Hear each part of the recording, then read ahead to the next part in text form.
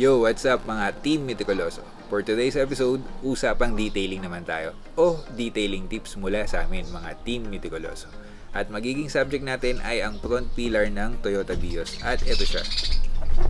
So, yan yung mismong inner front pillar na plastic niya. So, dito, popost ko sa screen, andyan siya, yun yung location niya. Check nyo na lang. So, bakit natin siya binaklas? So, binaklas natin siya kasi nakita nyo naman ang dilim doon, hindi nyo makikita. So, para maituro ko na rin sa inyo. So, yung plastic niya, ang status naman ay okay pa.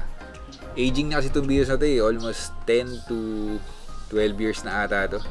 So, okay naman yung plastic niya dahil protected naman siya lagi. So, lagi siya ina-applyan ng mga protection. So, ito yung nakikita nyo sa screen. Ito, yun, ito yung mga protection. Ito yung car proper. Lagi nyo nakikita to pag nagdi-detail kami. So, yun yung mga ginagamit dyan. Kaso medyo merong mali ng konti eh since aging na siya, so lagi naman siya nilalagyan, no? protected siya. Kaso lang, nagpapatong-patong na yung layer of protection niya. So, ang nangyayari is nangingitim na din siya. So, every now and then, kailangan din natin siya linisin kahit every year linisin natin ng dun papasok ang content natin. Itong mga APC. So, this is all-purpose cleaner. So, this is Megwars at this is si Chemical guys. So, kung tatanungin nyo kung anong masasuggest kong APC, ito yung dalawang yun. Sa akin dalawa, ito yung choice ko. Itong dalawa pala, ito yung choice ko. Number 1 sa akin si Megwars at number 2 si Chemical guys.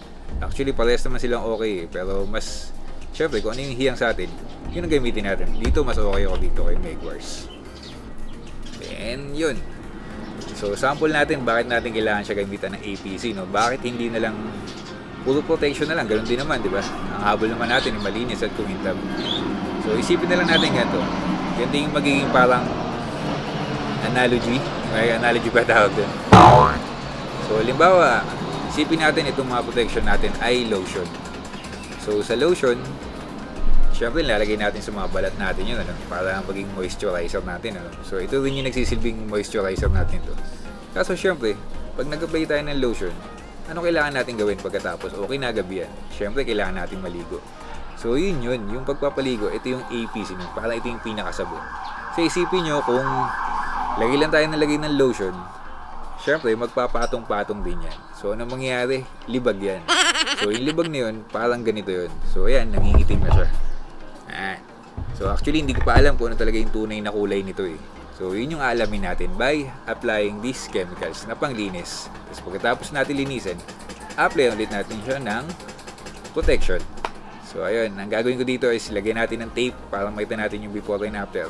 So, ayun. Samahan nyo So, ayan, game. Nalagyan na natin siya ng tape. So, dito tayo mag apply sa gitna para makita natin yung diferensya nung kanan at yung sa kaliwa.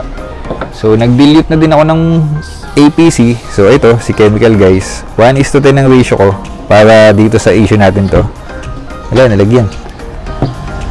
So, ito yung gagawin natin. Gamitin natin ng detailing brush. Spray muna natin. As medyo ibabad natin ng konti, kahit ilang seconds lang. Ayan, lagay natin yung detailing brush.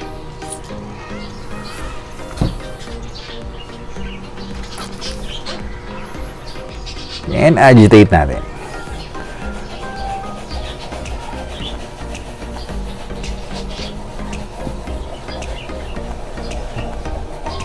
So, first time itong makakaranas ng ganito, no, nalinisin ng pa-APC. So, laging ginagawa dito is puro protection.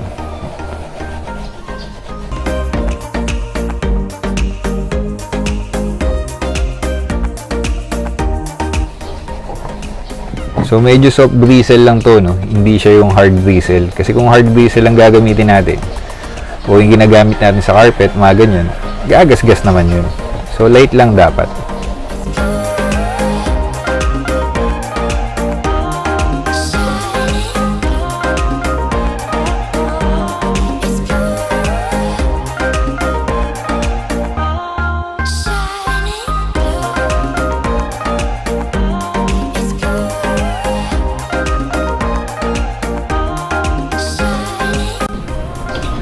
Pwede natin i-check.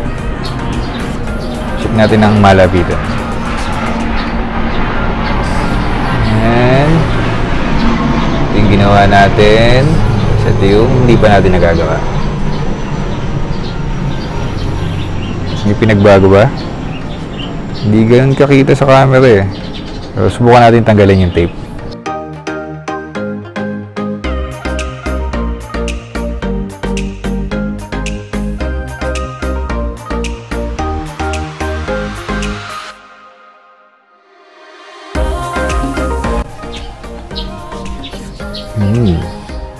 Kita naman pumuti siya.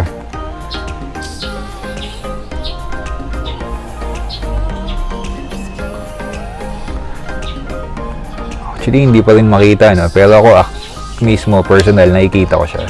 So, mas maganda siguro kung linisin ko to ng buo. Tapos, pagkukumpara ko yung sa kabilang side para mas malinaw sa inyo. So, wait, linisin natin.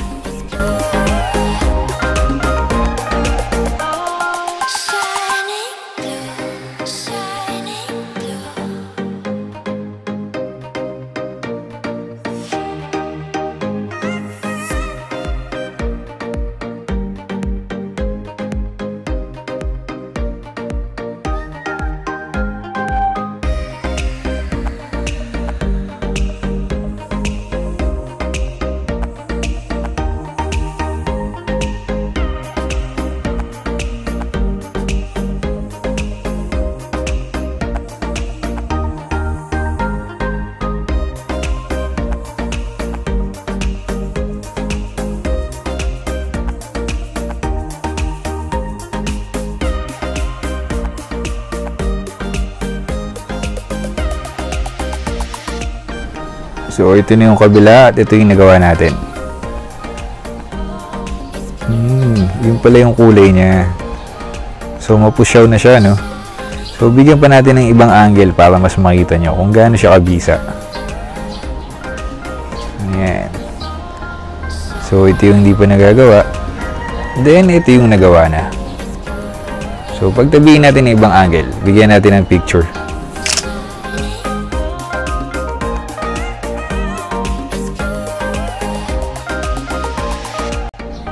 So, ayan, iliba natin ang angle. So, check nyo pag nandito. Ito yung hindi pa nagagawa. Yan. Napapansin nyo naman, may mga itim-itim pa. Then, ito yung nagawa na. So, yan ang power ng APC. Oh, di ba ang linis na? Tingnan nyo naman. Siyempre, siyempre! Possible question na pwede kong matanggap sa ginawa natin na to, no? So, halimbawa, yung nakita nyo kanina, no? Nilinis natin. So, pero hindi natin siya ginamitan ng running water o yung binasa natin. Gumamit lang tayo ng microfiber para punasan siya. Then, okay na. So, bakit yun ang ginawa natin? Ginawa natin yun kasi, so, halimbawa, nasa loob tayo, no? Hindi naman tayo pwede magbasa ng tubig sa loob ng interior ng sasakyan, di ba? So, running water pwede naman kung nakabaklas siya para kung ayaw nyo madumihan yung microfiber nyo. So, ibanlawan nyo na lang. Mas okay din yung ganun. Kaso kasi pagka sa nagdi-detail kami sa loob, nagbabaklas lang kami kung kinakailangan. Tapos, ano pa ba? Dilution ratio. So, yung ginamit natin kanina is 1 is to 10. So, medium lang yun o light to medium lang. So, pag heavy stain, ang ginagawa ko is 1 is to 4. So, 1 part ng chemical, then 4 parts of water. Nakadepende yun kung anong klase. So, paano natin malalaman kung anong kailangan nating dilution ratio? So, mag-test pat muna tayo. Yung test repair muna. Halimbawa, itong buong panel, ano, mag-testing muna kayo sa isang part lang. Halimbawa, itong linya to. Yan. Dito lang sa part na yan. Pag nakita nyo sa 1 is to 10, hindi siya natanggal. So, magdagdag kayo. Gawin nyo 1 is to 8. So, so kung 1 is to 8, hindi pa rin siya natatanggal. So, yun. And so on, 1 is to 10. So, yun lang. Lagi nating tatandaan, syempre. Doon muna tayo sa mahina. Least aggressive muna. Wag magbe-benefit din naman kayo doon kasi mas makakatibid kayo sa chemical nyo. So, isa pang question is, paano kung wala akong Megwars o APC? O masyado kasi siyang mahal, mga ganun. Pwede bang yung mga DIY na gamitin na APC lang? O yung nabibili na mura lang siya? Yes po, pwede naman. Kadalasan naman po ang nangyayari pagka yung mas mura, So, pagka in-spray natin, hindi siya kagad natatanggal. So, anong gagawin natin? Eh, di ulit-ulitin lang natin.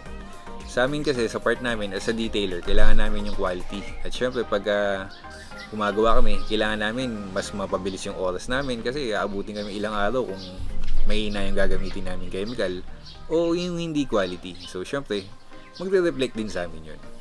So, ayun. Mm, pag may question pa kayo regarding sa APC, comment down below lang kayo. Tapos, oo nga pala, nabili ko to sa Lazada lang din. So, si dito sa screen post ko dyan. At si Chemical Guy sa Cleaners Depot. Yun, trusted na din yun. Pumunta na rin ako mismo sa shop niya. Tapos yun, okay naman. Si Megwares kasi, hindi pa ako nakakapunta dun eh. Pero yung nabilang ko sa Lazada, okay naman siya. Legit yung product niya. Kasi marami kasing nabibilan din na ano eh. Pag binili mo siya ng isang galon, iba diluted. Hindi naman sa naninira tayo. Minsan lang, nakaka-frustrate lang kasi alam mo yun, diluted na binigay sa'yo. Nakaranas na ako ng ganun. Kumbaga, hindi na siya concentrated. Mag-ingat lang tayo sa ganun. Kaya alamin din natin yung, yung review o yung ng page mismo. O yung nung shop mismo. So, yun. Sana nakatulong ako sa aking ingay. Dito kasi ako sa Tagig. Ang daming aeroplano dito. So, sana nakatulong ako sa aking mga konting tips at sana makatulong sa inyong paglilinis ng sasakyan. At sana mag-subscribe kayo and continue to like our page, watch, and subscribe. Maraming salamat mga Team Meticuloso.